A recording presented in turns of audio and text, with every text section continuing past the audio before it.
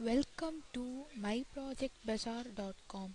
Let me discuss about the process data hiding in encrypted H.264 AVC video streams by code word substitution. Let us see the abstract of the process. Hiding of informations in videos has many applications for secure data transmissions. Videos is encrypted and the information that is to be hidden is included in the video frames. The encryption process is employed by shuffling the pixel coordinates of the input video frames based on key. This process is denoted as the code word substitution models. Diagonal search patterns were employed for the secrecy of the informations. The frames were all divided into subblocks and the search patterns were identified in each subblocks. The points are detected in the videos based on the diagonal search patterns model. Mean difference matrix is constructed to select the selected points in the subblocks. The input blocks is compared with the current blocks by measuring the multiple block models at that point. If the block mean is matched, then the search is done at that point otherwise the search is done for the whole blocks the process is repeated until the search is done over all the frames in the video the encoding process is employed using the Huffman transformation so that the encrypted bits were more reallocated and the original information is not possible to retrieve without the knowledge of the authorized key from the user. The, here the same Huffman transformation is employed for hiding the secret information within the images. The video can be decrypted if only the encryption schemes is known and hence the process can be used by authorized persons only. The information hidden in the video will be more secure and instead the authorized persons can get the secret information hidden in the video. The authorized persons can alone decrypt the frames and the decrypted images were reversed. Input frames in the uh, single video is decoded using Huffman in order to obtain the messages and also the search patterns is reversed to find the original image pixels in the encrypted video frames. Thus, the obtained key-based code word substitution is reversed in order to obtain the original image pixels. The performances of the process is measured by calculating PSNR, MSE, and BER calculation. Let us see the flow of the process. First, the input video is loaded. The videos were converted into frames. After converting into frames, encryption process is employed based on code word substitution. After that, Huffman encoding is employed, which is used for embedding the secret information inside the bits. So, as a result of these processes, the the secret information is placed in the encrypted video frames. So, the resulting Stego video is got. Here, the same process is repeated in the receiver side in order to obtain the images. So, first the embedding process is reversed in order to obtain the secret information. That is Huffman is decoded and the secret informations were got. And after decoding the Huffman the encryption process is reversed which is based on code word substitution.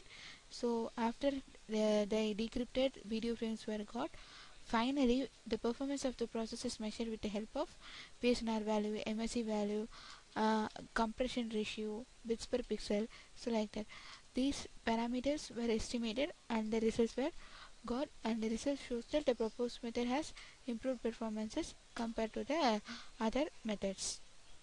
Let us see the running procedure of the process. If you want to run the code, select the file main.m which is located in the source code folder. Right click it and click on run file. You will get the user interface to run the program. so this user interface is displayed. Click on load video to select any one of the video which is present in the dataset. So select any one video. So the video is loaded and it will be displayed so the video is displayed here if you want to play this you can play and see. Then uh, we, con we convert the video into frames. So the frame conversion process going on. So all the the video is converted into number of frames. Then after that we do the encryption process. So in the encryption process the video is encrypted and the process is uh, going on. After uh, encryption so the encryption process is completed. Then we move on to the embedding process. So you can select any one of the two choices. So here user defined means give any one of the uh, messages secret messages in this text. And then click on uh, embed. Then this text will be embedded and it will be dis the embedding process is completed and the video is embedded. So if you give default means defaultly the uh, text is given as hello and it will be embedded.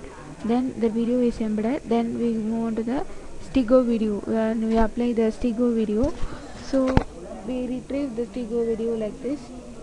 And then we retrieve the videos uh, extracted so in this process the video is uh, extracted. So the initially the video is retrieved and then we apply the decryption process. So as we can see here the video is decrypted and it is displayed here.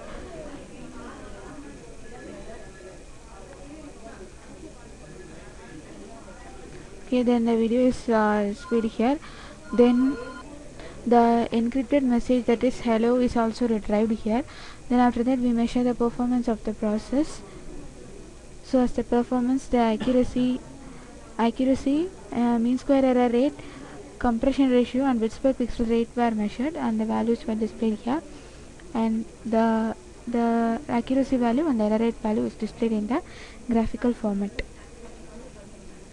Thus we uh, propose uh, in, uh, in a video process that encrypts and embed the secret messages inside the video.